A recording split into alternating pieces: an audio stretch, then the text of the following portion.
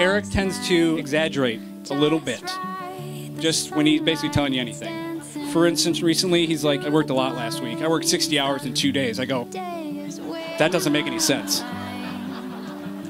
So a few years ago, he tells me about this new girl he met, and he's dating her. You know, he's raving about her. And I'm like, well, this is Eric. He's exaggerating. I'm sure he's, you know, whatever.